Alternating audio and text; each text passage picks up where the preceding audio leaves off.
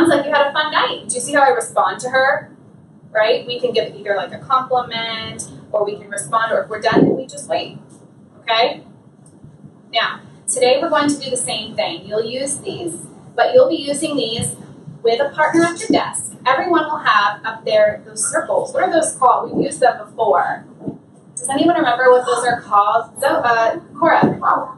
Different, same, different. Oh, yeah. We talk about how they're different and the same, and it has a special name. It's called a Venn diagram. Venn diagram. Okay. So now we are going to model using the Venn diagram. Oh, but I need to wait because I have some friends that aren't focused yet. What is? Okay, so just turn your bodies here because we are going to use the front. Can you scoot back for me? Thank you. Give Miss Coloni a little bit of space. Okay. I know it's a little bit different, but okay. Show me you're ready. Say crisscross that way behind you can see. Okay. So everyone will have a bag. Do you see how I have the green circle? Mm-hmm. That means who's talking first? You are. I will reach into my bag and I'm going to pick out a slip of paper. Okay. And I'll read it. And I'll show my partner too. True facts. Now I'm going to go look at my Venn diagram. There's Stellaluna, the book Stellaluna at the top. And there's facts. That's the article we read. Now I have to think, true facts. Which one of these true facts? And then I'm going to do this. Oh, uh, true facts is facts because when we read facts, it was teaching us a lot of real things about the story. And then to show me that she agrees with me, she's going to go like this or nod. And then what I'll do is I will take my glue stick, I will glue this on, and it will go under facts, right? Okay. This is really important. Are you ready? Okay. Do you see how I turned to my partner and I didn't just say, ooh, it goes here. I told her why I thought it went there. I want you to explain your thinking.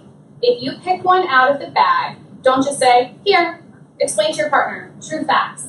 When we read about bats, I learned a lot of true facts in that story. That's how I know it goes under facts. So you'll practice explaining why, okay? If for some reason your partner makes a mistake and maybe they thought true facts would go under Stella Luna,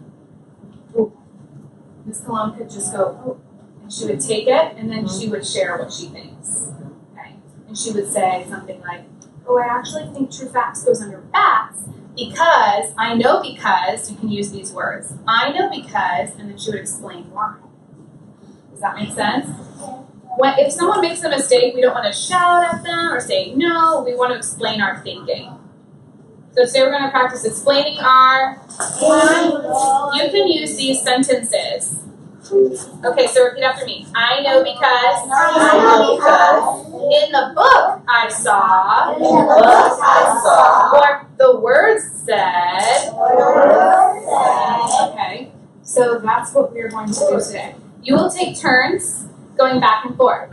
The person, thank you, with the green circle, they talk, they reach in their bag, they pick one out, they turn to their partner and explain why or where it goes. Then they can glue it on, and then they switch. Thumbs up if you know what to do. Okay. And you will go back and forth until they're done. If by chance you don't know what a word says, some of them have pictures to help you, but if you don't know, you can ask your partner to help you with a word. If you and your partner have both sounded out a word and you're still not sure, raise your hand. Okay? How do we feel about this activity?